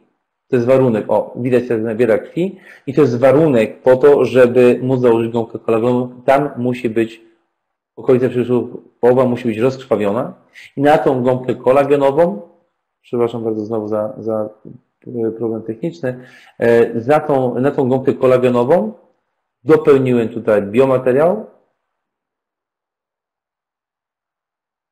Pamiętając o tym, e, to akurat była biodentyna, z tego powodu, że biodentyna ma tą e, cechę, że nie, jest, nie używamy, e, nie ma w swojej zawartości soli ciężkich metali, czyli nie przebarwia tkanek zęba. Dlatego to jest bardzo istotna rzecz, żeby używać też biomateriałów, które nie przebarwiają tkanek zęba. Zwłaszcza jest to młoda dziewczyna, w odcinek przedni, bardzo estetyczny, Gdyby to odcinek boczny, to jeszcze, jeszcze można byłoby sobie pozwolić na, e, na użycie innego biomateriału. W tej sytuacji e, podwójnie byłem skoncentrowany na tym, żeby użyć biomateriał, który będzie e, pozbawiony tych, tych soli ciężkich metali i później po 20 minutach dopełniłem to, dopełniłem całą długość już kanału przy użyciu ekstrudera, czyli gutaperki na ciepło Cały czas jeszcze opycham, kondensuję i tutaj ułożyłem później, użyłem jeszcze uszczelniacza. Tutaj był Tusil, e, założony na stwardniały już, związany już biomateriał. Założyłem tutaj jeszcze warstwę uszczelniacza po to, żeby uniknąć jakichkolwiek pęcherzyków, jakichkolwiek nie, niedoskonałości w połączeniu tych dwóch materiałów. I dopełniłem tutaj gutaperką z ekstrudera tu było, gudaperka miała około 180 stopni. Lubię taką trochę płynniejszą gudaperkę, ponieważ liczę na to, że jak będzie jakiś kanał boczny, płynniejsza gudaperka będzie troszkę swobodniejsza. Dlatego proszę zwrócić uwagę, za chwilkę nieopatrznie e, uda mi się ją delikatnie usunąć, wyciągnąć z kanału, dlatego e, rekomenduję, żeby nie kondensować, o, żeby nie kondensować w ten sposób, jeżeli gudaperka jest jeszcze taka półpłynna, żeby nie używać dużej siły tak naprawdę po to, żeby żeby mm, ta guzawarka nie została wyciągnięta ze światła kanału. Ok, John, can we skip to the, to the presentation back, please? Thank you. Po całym zabiegu leczenia kanałowego założyłem, oczywiście założyłem, e, wytrawiłem e, gazem ortofosforowym, e, założyłem system wiążący, założyłem kolorowy flow na na, na, na, warstwę, na warstwę e, gutaperki i uzupełniłem to kompozytem. Taki był efekt końcowy po tej, po tej wizycie. To był jeden ząb, to były dwa zęby naraz, e, a taki był efekt końcowy po trzech miesiącach. Proszę zwrócić uwagę, wygojenie praktycznie w 100%. Wygojenie, była to pacjentka rekomendowana do mnie, dojeżdżała 200 km, więc zależało mi zrobić sobie to na jednej wizycie Natomiast dostałem teraz koleżankę, która mi to rekomendowała, pani doktor, e, tą pacjentkę przysłała mi 4 dni temu dokładnie e, zdjęcie i jest całkowite wygojenie tej, e, tej, tych zmian okołowo także proszę zwrócić, to jest różnica 3 miesięcy, czyli warstwa gąbki kolagenowej, później biomateriał, dopełnienie gutaperką i założenie szczelne, ładne wypełnienie. I tak to pacjentka została oddelegowane, że tak powiem. Także jeżeli wybierzemy swoją drogę kształtowania garnków, mówiąc kolokwialnie, a tak naprawdę mówiąc wprost i szczerze, jeżeli będziemy myśleć o tym, jaką, jaki przypadek mamy do wyboru, z czym mamy się zmierzyć, jeżeli weźmiemy pod uwagę analizę zdjęcia rentgenowskiego, RVG, jeżeli mamy do tego dyspozycji jeszcze możliwość skorzystania ze stożkowej tomografii komputerowej CBCT, to wybierzemy swoją drogę w leczeniu kanałowym i wtedy wygramy naszą ścieżkę leczenia kanałowego tak naprawdę, e, czego Państwu i sobie też życzę, żeby prostszych kanałów, a może nawet trudniejszych kanałów, nie wiem, jeżeli lubię challenge, ja lubię bardzo challenge, więc, więc um, życzę Państwu e, udanych przygód z. Tu jest mój mail e, i mój Facebook. Jeżeli coś, zapraszam bardzo serdecznie do bezpośredniego też kontaktu. Natomiast teraz e, wiem, że będzie sesja pytań. Mam nadzieję, ponieważ nie miałem możliwości tutaj, e, nie koncentrowałem się na tym, czy były pytania, więc bardzo Was proszę, czy, czy, czy były jakiekolwiek pytania i bardzo chętnie teraz się do nich ustosunkuję. Okay, Joe, you are ready to, to do Eee, question jest session, please? pytań, e, które e, chcielibyśmy panu doktorowi przekazać. E, Pierwsze pytanie e, jest od pani Marii, e, która pytała o A, system iFlex. Domyślam się, że chodzi o porównanie e, z systemem pilników Recipro, które pan doktor pokazywał. E, Natomiast pani Maria może ewentualnie doprecyzować swoje pytanie na e, czacie, to e, poprosimy wtedy pana doktora, Tak, żeby nam e, powiedział. E, Jest drugie pytanie od pani Agnieszki. Tak. E, Dotyczy no, ostatniej części pana doktora prezentacji. E, Chodzi o. Bardzo proszę, e, tak. O to, Bardzo bym prosił, żeby doktor to ma pewność, że założył pan gąbeczkę kolagenową na odpowiednią długość. Tak?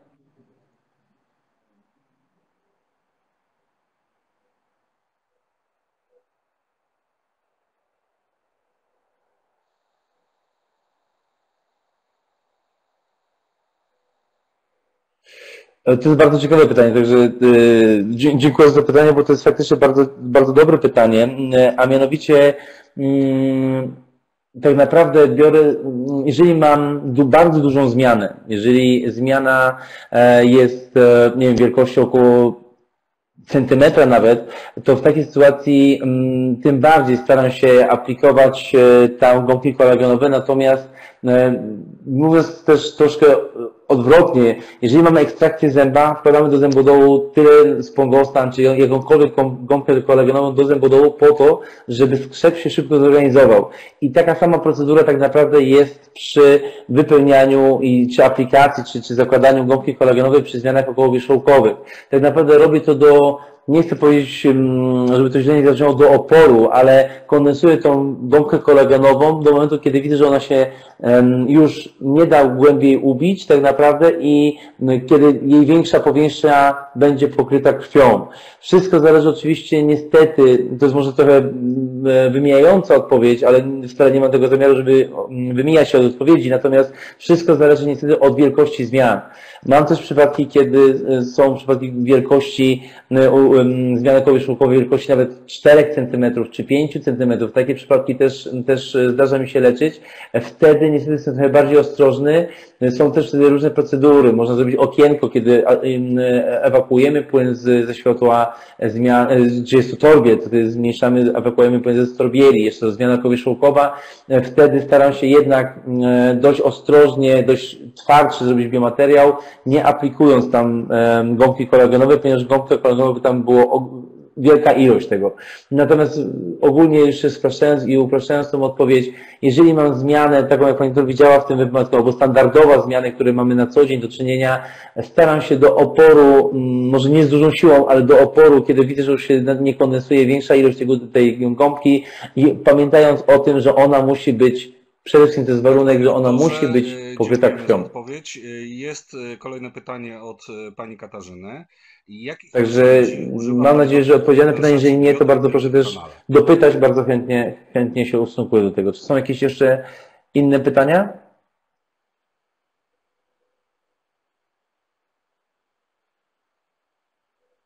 Tak. Yumi?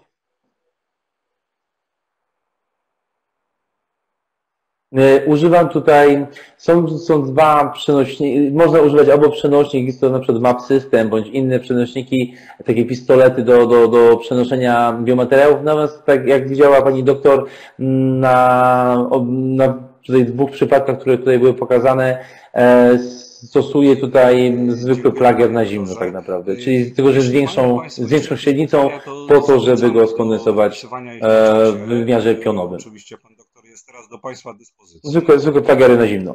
Y, Tutaj pani Maria e, jeszcze pisze e, pytanie e, o zakrzywione kanały.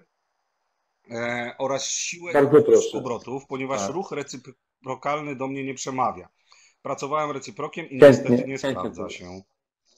Czyli też tutaj pewnie wrócimy Tak. do tego wcześniejszego pytania o porównanie e, narzędzi Recipro Tak, proszę. i pilników Hyflex.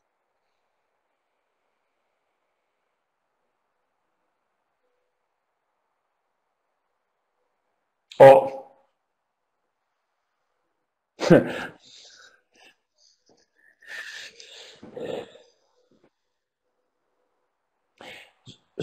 Znaczy, znaczy jestem zdziwiony, że Reciproc się nie sprawdza, ponieważ jest to moje, naprawdę wszystkie case'y, które robię, robię tam na na Reciproc, jestem bardzo zdziwiony, że się nie sprawdza. E, Jestem, ja bardzo chętnie zapraszam też do, do prywatnej konwersacji, bo chętnie na ten temat porozmawiam, może rozwieję pewne wątpliwości e, co do ruchu recyprokalnego bądź obaw związanych z nimi. Natomiast e, jeżeli Pani to obawia się faktycznie ruchu recyprokalnego z powodu, nie wiem, czy dużego tajpera, czy być może z tego wydający się z duży, zaznaczam, mam naprawdę trudne i zakrzywione. Czy niestety, ja, ja czekam cały czas na takie kanały, żeby się z nimi zmierzyć. Natomiast Mówię tak już całkowicie poważnie, jeżeli pani doktor boi się, bądź faktycznie kanał jest bardzo zakrzywiony, to można zrobić dwie drogi, nawet trzy. Można użyć, e, tak jak użyłem w pierwszym protokole, czyli wykorzystać AirPilota po to, żeby wykorzystać, żeby wytworzyć ten glide path. Następnie można użyć mniej agresywnego, e, czyli mniej stożkowatego z mniejszym tajperem systemu narzędzi e, rotacyjnych. Ja używam dość często Rotate'a, więc pozwolę sobie na przykładzie tego, tego systemu opowiedzieć mój protokół. Więc y, narzędzie ręczne sprawdzam sobie scouting, czyli sprawdzam kanał zakrzywienie, stopień zakrzywienia. Wtedy AirPilot, chyba że kanał jest naprawdę bardzo zagięty pod bardzo dużym stopniem, to wtedy ewentualnie AirPilota nie jesteśmy w stanie dogiąć na tak na czysto, tylko mm, tak bezpośrednio, ponieważ ten stop nie pozwala, żeby go dogiąć, żeby on miał e, pamięć kształtu, tylko po prostu musimy go zwilżyć albo spryskać chlorkiem etylu, dogiąć, wtedy włożyć do kanału i w ten sposób starać się wytworzyć ten glide path. Jeżeli ten glide path udało nam się osiągnąć, to wtedy już jest trochę łatwiejsza droga, wtedy używam wtedy s- systemu Rotate, e, czyli pierwsze narzędzie 1504, następnie 2005 i, I tutaj mamy do wyboru, zależy też od krzywizny, ponieważ na 20.05 nie proponowałbym zakończyć tego, tego shapingu, tylko bym zakończył dopiero na 25, ale mamy do wyboru w tym systemie 25.04 bądź 25.06. Zazwyczaj, tak jak w tym przedostatnim przypadku, zazwyczaj w tych um, już bardzo zakrzywionych kanałach kończę na 25.04. E, Drugi, drugi sposób to ewentualnie można użyć Rotate'a, e, przepraszam, em, AirPilota i e, jeżeli to krzywizna nie jest aż tak bardzo pod 90 stopni, to można spróbować użycia, użyć systemu recyprokalnego, czyli Rotate, czyli narzędzie ręczne, narzędzie AirPilot i dogięty pod pewnym stopniem powolutku, e, bez dociskania do okolicy przywierzchołkowej narzędziem typu Reciproc Blue i to zazwyczaj byłoby R25.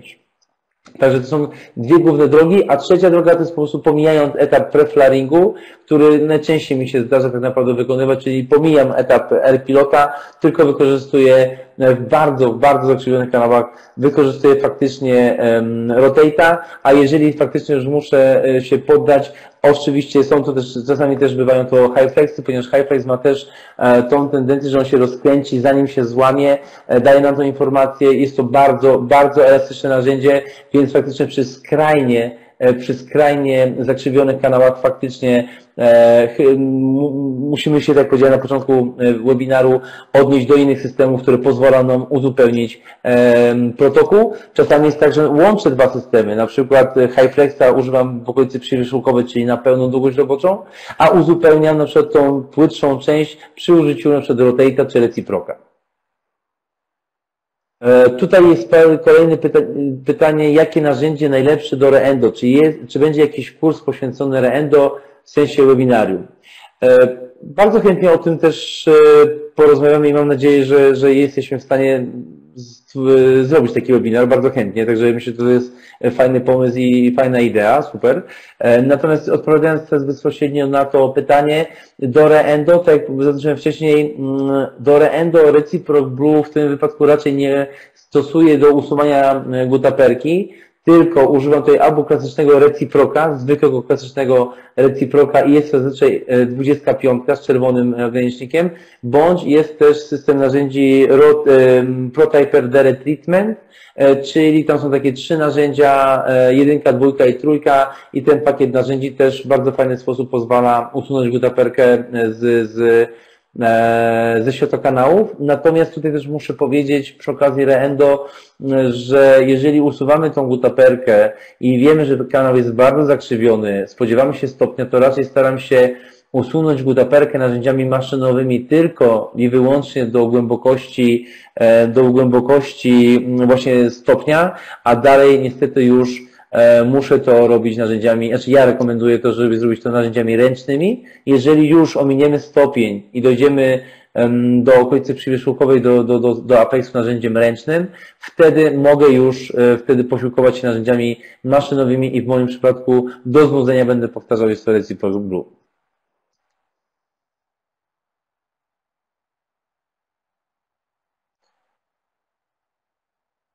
Używałem, czyli kolejne pytanie, czy używam high flexów, czy, do, czy ja ich używałem. E, nie używam ich standardowo, bo nie mam takich potrzeb, szczerze powiem. E, natomiast sporadycznie absolutnie używam, natomiast, e, natomiast nie jest to mój standardowy protokół.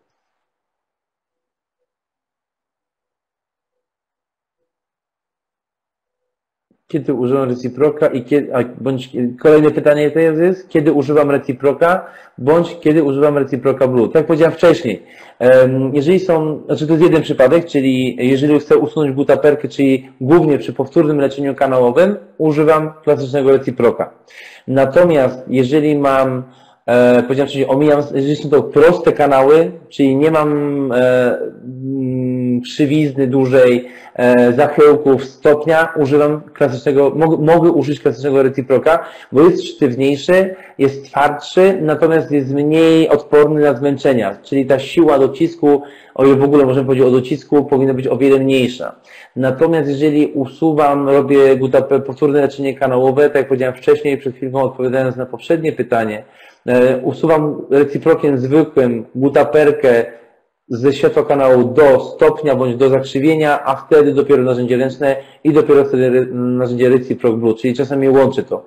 Jeżeli mam pierwotne leczenie, kanał prosty, Reciproc, klasyczny bądź Reciproc Blue, to wszystko zależy od, tak naprawdę od, od, od można powiedzieć czasami też od dnia, jeżeli chodzi o pierwotne leczenie prostych kanałów. Natomiast jeżeli są zakrzywione kanały, Dobrze, e, bardziej niestandardowo, ciężko mi to teraz e, opisać, że jest bardziej niestandardowo, powiedzmy pod kątem 45 stopni, zazwyczaj jest to wybór pada na Reciproca Blue.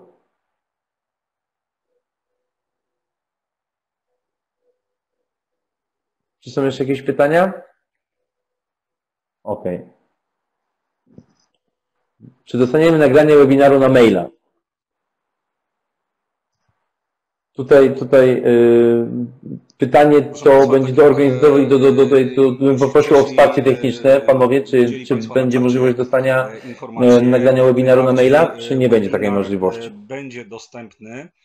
Dostaną Państwo informację mailem w postaci linku i przez jeden tydzień ten link będzie aktywny, kiedy Państwo będą mogli sobie ten webinar obejrzeć. Niestety y, nie będzie możliwości pobrania e, tego webinaru. E, natomiast e, w ciągu tygodnia będą Państwo mogli sobie to nagranie przeglądać dowolną ilość razy.